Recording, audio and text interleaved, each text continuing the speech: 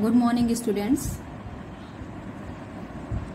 आज हम आपके प्रैक्टिकल के बारे में एक वीडियो बनाए हैं, बनाने जा रहे हैं।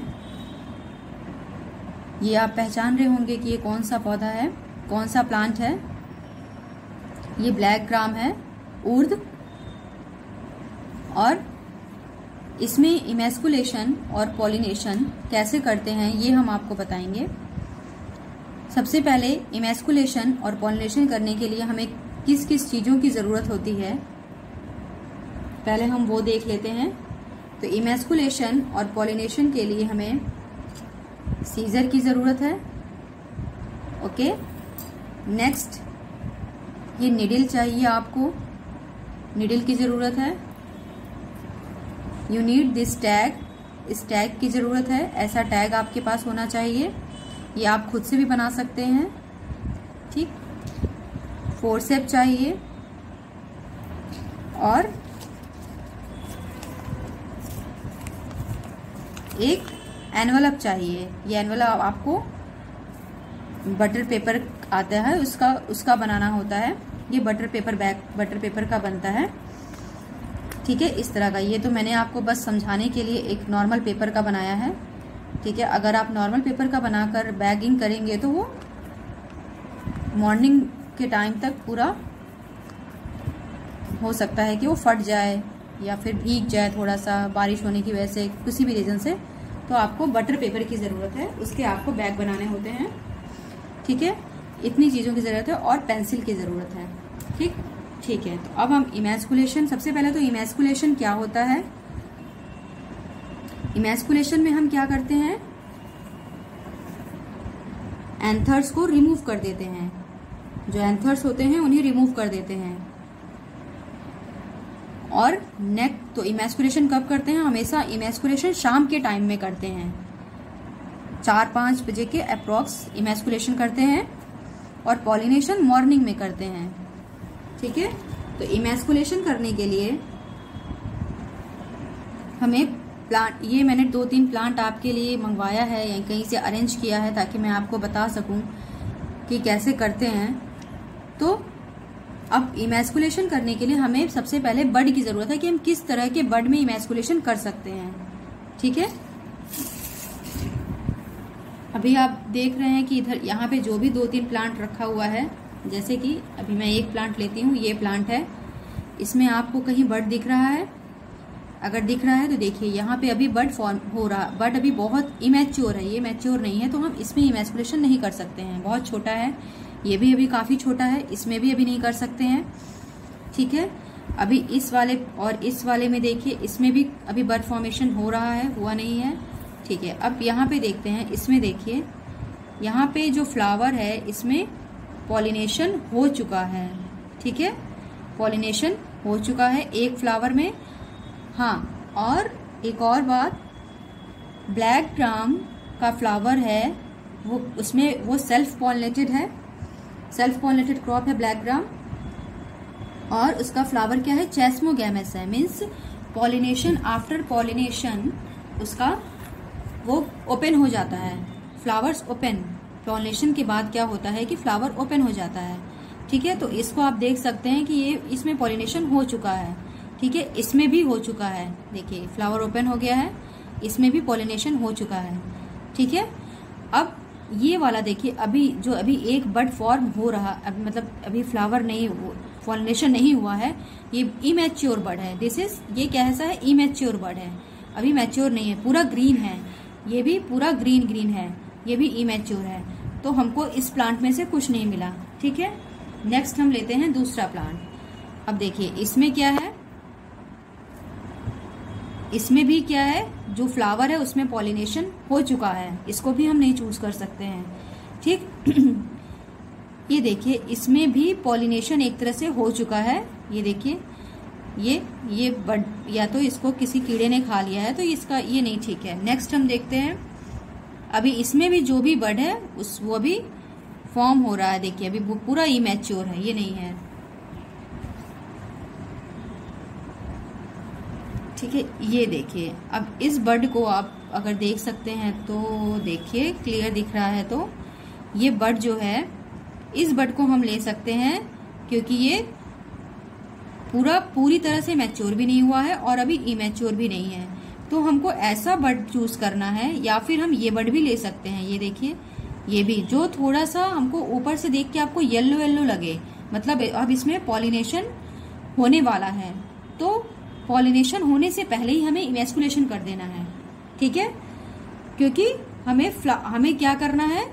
दूसरे प्लांट का एंथर लाके इसमें, उससे इसको पॉलिनेट करना है, क्योंकि हम इसमें कैरेक्टर ट्रांसफ़र करना चाहते हैं। ओके तो हमें इसको ट्रांसफ़र करना है। जैसे अगर मैंने ये बड चूज़ किया है तो अब हम निडिल की हेल्प से, इस निडिल की हेल्प से, इस बड को ओपन करेंगे। ये इसको भी ओपन करते हैं ये इजिली हो जाएगा। ठीक है? जनरली क्या होता है, इसमें पॉलिनेशन करते करते ये टूट जाता है।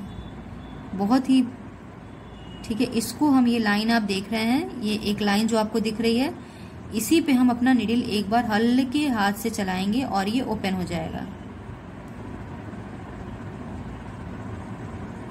एक बार जब हो गया तो एक बार हल्का सा लगाएँगे निडिल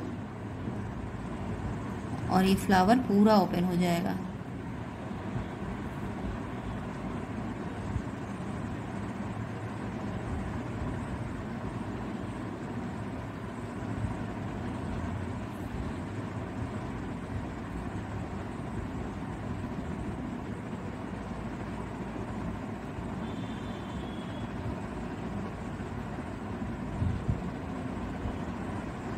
बहुत ही ध्यान से करना होता है इसको हम्म, देखिए इस नीडल से जब आप करेंगे हाँ और इसका जो स्टेमन है, वो कैसे होता है, ये देखिए। अभी आपको यहीं पे दिखा दे रहे हैं। दिख रहा है कुछ? इसमें आपको हल्का सा ये वाला ये नौ एक साथ होते हैं, ये देखिए, ये नाइन जो है, वो एक साथ है, और एक ये पूरा अकेला है, ये देखिए। ओके। हाँ ये निकल गया। हाँ ये देखिए। ये अकेला है, जो ये है, वो सिंगल है। इसमें अरेंज कैसे होता है?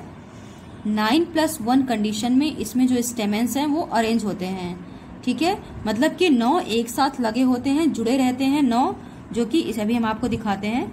नौ एक साथ इसके साथ जुड़े हैं, जो मैंने स्पिन निडिल से इसको दबाया है। और एक आपको ये सिंगल दिख रहा है एंथर दिख रहा है स्टेमेन से लगा हुआ है ये। ठीक है? ये देखिए, ये एंथर है। इसको हम इसको हम इसको हम रिमूव कर देंगे क्योंकि हमको इस, हमको एंथर ही रिमूव करना है इमेस्कुलेशन करना है तो ये हमने रिमूव कर दिया। ठीक? हो गया जो एक सिंगल लगा था वो हमने रिमूव कर दिया। अब हमको जो नौ एक साथ लगे हैं वो हम आपको दिखाते हैं। ये देखिए। ये नौ एंथर इसमें एक साथ लगे हैं। दिख रहा है? ये देखिए। ये इसमें एक साथ नौ एंथर लगे हुए हैं। ठीक? अगर आप इस, आपके पास, किसी के पास ग्रीन ग्राम, ब्लैक ग्राम का अगर प्लांट कहीं मिल जाता है तो आप काउंट करिएगा, इसमें नौ हैं और एक जो है वो अलग से था। तो ये नाइन प्लस वन इसको डाया डेल्फस कंडीशन कहते हैं। डाया डेल्फस कंडीशन मतलब कि एंथर जो होते हैं वो नाइन प्लस वन में अरेंज होते हैं, नौ एक साथ होते हैं, जो कि इसमें लगे हैं और एक मैंने जो पहले हटा दिया।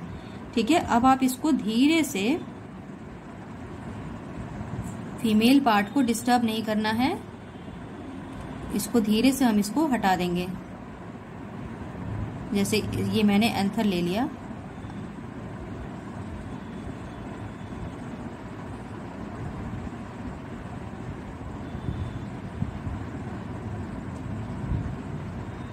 ठीक है, इसको धीरे से बस एंथर को हमको नाइन प्लस वन का रिमूव करना है। अब ये मेरा इमेस्कुलेशन हो गया। ठीक है, अब इसको हमको कुछ नहीं करना है, बस इमेस्कुलेशन हो गया। इमेस्कुलेशन के बाद हमें इसे, इसी जो एनवलप मैंने आपको बताया था, ये तो पेपर बैग का है, इस एनवलप से ये काफ़ी बड़ा है, क्योंकि इसका फ्लावर बहुत छोटा होता है और प्लांट भी काफ़ी छोटा होता है। तो इस एनवलप से हम इसकी बैगिंग कर देंगे, ठीक है? मतलब कि इसका, जो बर्ड जिस बर्ड में मैंने किया है, उसको एक्चुअली ये बहुत हल्का होता है तो हम इसमें पूरा प्लांट एक किसी प्लांट का ऐसे लेकर के उसके साथ इसकी हम बैगिंग कर देंगे और इसको कवर कर देंगे, ताकि किसी और का पॉलन इसमें यहाँ पे एक पेपर क्लिप लगा देते हैं। ये आपकी बैगिंग हो गई, ठीक है? बैक पेपर क्लिप लगा के इसको इवनिंग में करते हैं इमेस्कुलेशन शाम में करते हैं इमेस्कुलेशन करके इसको छोड़ दिया, ठीक? अब नेक्स्ट मॉर्निंग में जब हम आएँगे तो हम फिर से हमें वैसा पॉलन सर्च करना है। पहले तो बैग खोलने से पहले हमें पॉलन सर्च करना है कि हम कैसे पॉलन बर्ड सेलेक्शन करना है पॉलिनेशन के लिए ओके कौन से बर्ड से, कैसे बर्ड से, कैसा बर्ड सर्च करेंगे? और पॉलन सेलेक्ट करने के लिए हम, हमें जिस भी वैरायटी से पॉलन ट्रांसफ़र करना है, उस वैरायटी के प्लांट में से हम वैसा ही बर्ड सेलेक्ट करेंगे जैसा बर्ड हमने सेलेक्ट किया था इमेस्कुलेशन के लिए, कि जिसमें पॉलिनेशन ना हुआ हो और अभी वो थोड़ा सा मैच्योर कंडीशन में हो और हमें ऐसा लग रहा हो कि अभी बर्स्ट होने वाला है पॉलिनेशन इसमें होने वाला है तो हम उसको क्या करेंगे, लेकर आएँगे और जैसे अब मैंने, मैं इसको इसको, फिर हम इस बैग को, हम लोग हटा देंगे। इसकी, इस बैग को हटा देंगे। अब हमको इसमें पॉलिनेशन करना है। तो जैसे कि मैंने मान लीजिए, वैसा ही बर्ड यही सेलेक्ट किया, देखिए। जैसे मान लीजिए मैंने ये बर्ड ले, लिया, इस ब्लड बर्ड को हम प्लग कर देंगे, तोड़ेंगे इसको। तोड़ने के बाद इसको प्लांट के पास, जहाँ पे हमने इमेस्कुलेशन किया है, वहीं पे इसको ओपन करके इमीडिएटली जैसे ही ओपन करेंगे, क्योंकि मॉर्निंग के टाइम में पॉलिनेशन होता है, सात से आठ के बजे के बीच में हम इसको ओपन करके बर्ड को सॉरी हाँ ये अब दिख रहा होगा, ये बर्ड को ओपन करके और हम सीधे क्या करेंगे, ऐसे ही बर्ड को ओपन करके इस इमेस्कुलेटेड फ्लावर में ऐसे इसको रब कर देंगे। ये देख रहे हैं, ऐसे इसको रब करके थोड़ा सा तो इसमें सारे जो पॉलन है एंथर है, वो तो मॉर्निंग में बर्स्ट होते हैं तो पॉलन जो है वो पाउडर फॉर्म में होता है। एंथर बर्स्ट होते हैं और पॉलन पाउडर फॉर्म में होता है। जब एंथर बर्स्ट होगा तो मॉर्निंग में होगा और तुरंत वो पाउडर फॉर्म में इस पे कहीं मतलब इसमें इसके फीमेल पार्ट तक पहुँच जाएगा और इसको हम फिर से वैसे ही बैगिंग कर देंगे। पॉलिनेशन मैंने कर दिया। अब उस बर्ड का हमारा कोई काम नहीं है। वो वाला बर्ड जिससे पॉलिनेशन किया था वो हटा देंगे और इसकी बैगिंग फिर से कर देंगे। ये एक्चुअली टेम्परेरी बैग है, जो बस आपको बताने के लिए मैंने बनाया है। ठीक है, इसकी बैगिंग कर देंगे, इसमें पेपर क्लिप लगा देंगे और इसके बाद हमको इसमें इन्फॉर्मेशन लिखनी है। पॉलिनेशन हो गया, ऐसे हम इन्फॉर्मेशन लिखेंगे टैग टैगिंग करते हैं, ठीक है? प्लांट में जब पॉलिनेशन हो गया तो हमको अब टैगिंग करना है कि कैसे हम पहचानेंगे कि किस प्लांट में मैंने कब इमेस्कुलेशन किया था और कब पॉलिनेशन किया था। इसका मेल प्लांट कौन सा है, जहाँ से मैंने पॉलिन लिया है फीमेल क्या है? तो मेल और फीमेल हम यहाँ पे इसमें मेल प्लांट और फीमेल प्लांट की एंट्री कर देंगे। ठीक है? कौन सा प्लांट है? यहाँ पे मान लीजिए जो जिनोटाइप है उसका नाम यहाँ लिख देंगे। यहाँ पे उसका लिख देंगे जो भी हमने फीमेल यूज़ किया है मेल जो यूज़ किया है, ठीक है? डेट ऑफ़ इमेस्कुलेशन जैसे ट्वेंटी फोर्थ अगस्त को अगर इमेस्कुलेशन किया है तो वो डेट नेक्स्ट डे मॉर्निंग में हम पॉलिनेशन करेंगे तो डेट ऑफ़ पॉलिनेशन पॉलिनेशन यहाँ रहेगा। ठीक है? Twenty fifth August. उसके बाद मेल और फीमेल प्लांट का नाम। क्या उसका नाम है? ठीक है? फिर उसके बाद यहाँ पे जैसे प्लांट वन प्लांट टू जो भी आप नेम नाम देना चाहें उसका एक नाम दे देंगे प्लांट वन ठीक है? ताकि नेक्स्ट डे मॉर्निंग आप जब आए नेक्स्ट डे मॉर्निंग नहीं आफ्टर फिफ्टीन डेज़ पंद्रह दिन के बाद दस से पंद्रह दिन लगता है सीड फॉर्म होने में तो आप टेन से फिफ्टीन डेज़ के बीच आ, आके आप चेक कर सकते हैं या पंद्रह दिन के बाद ही आप आके चेक कर सकते हैं कि आपके जिसमें आपने इमेस्कुलेशन पॉलिनेशन किया था उसमें सीड फॉर्मेशन हुआ है या नहीं हुआ है? इसका आप बैग हटाएँगे आफ्टर 15 डेज़ और इसको चेक करेंगे कि इसमें सीड फॉर्मेशन हुआ है या नहीं हुआ है। तो ये तो आपको 15 डेज़ के बाद ही पॉलिनेशन की आफ्टर 15 डेज़ जैसे अगर आपने 25 को किया है तो अप्रोक्स 10 सितंबर के आसपास आपको ये पता चल जाएगा कि हाँ मैंने जो किया है वो सक्सेस हुआ या नहीं हुआ। अनसक्सेस भी हो सकता है। अगर आपने इमेस्कुलेशन के टाइम जरा सा भी लापरवाही की और फीमेल पार्ट अगर टच होकर के डैमेज हो गया पिन से कहीं इसको मतलब कुछ डिस्टर्ब हो गया तो फिर वो पॉलिनेशन नहीं होगा उसमें। ठीक है? और तो इसलिए हमको बहुत ही केयरफुली पॉलिनेशन करना है और इमेस्कुलेशन करना है स्पेशली उसके बाद पॉलिनेशन करना है। ओके तो मैं सब आप लोगों से यही रिक्वेस्ट करूँगी कि एक बार आप लोग ज़रूर ट्राई करिए। ऐसे ही आप भी घर पे लाकर, जैसे मैं इसको ला करके एक आध प्लांट को, ये पॉसिबल था, इसलिए मैंने इसको घर पे मंगवा करके आपको एक दिखाया है, सिखाया है कि कैसे करते हैं। ठीक है? और आप भी इसको ला करके दो तीन प्लांट अगर कहीं से पॉसिबल है तो आप घर पे प्रैक्टिस कर सकते हैं। आपको दो तीन प्लांट में काफ़ी मिल जाएँगे बर्ड, जिसमें आप एक आध ओपन करके तो ट्राई कर ही सकते हैं कि हम कैसे कर सकते हैं। ठीक है? तो ये था ब्लैक ग्राम का इमेस्कुलेशन और पॉलिनेशन। इसके बारे में हम आपको एक आध वीडियो और अपडेट करेंगे, क्योंकि अभी प्लांट था तो प्लांट मुझे तुरंत में वीडियो बनाना बहुत ज़रूरी था। अदरवाइज़ ये बेकार हो जाता ऑलरेडी ये थोड़ा बहुत सूख गया है। तो इसलिए मैं इमिडिएटली वीडियो बना लिया मैंने, क्योंकि प्लांट फिर टाइम का वेट नहीं करता है, और ये काफ़ी टाइम से फिर और भी सूख जाता। इसलिए मैं तुरंत वीडियो बना ली। बाकी मैं इमेस्कुलेशन और पॉलिनेशन से रिलेटेड या इस प्लांट से रिलेटेड इस क्रॉप से रिलेटेड और भी जो भी इन्फॉर्मेशन है, मैं आपको एक अलग से पीपीटी बना के वो अपलोड करूँगी। और आप ज़रूर से ट्राई करिए एक बार। अगर आसपास आपके कहीं अवेलेबल है, ज़रूर होगा। बहुत से लोगों के पास होगा। आप एक बार प्लांट को दो तीन बर्ड लेकर आइए घर पे और ट्राई करिए उसको। आप निडिल अगर आपके पास तुरंत में नहीं है तो आप सेप्टिपिन का भी यूज़ थोड़ी देर के लिए कर सकते हैं। अदरवाइज़ ये निडिल आपको ईजिली मिल जाएगी। आप ले सकते हैं कहीं भी।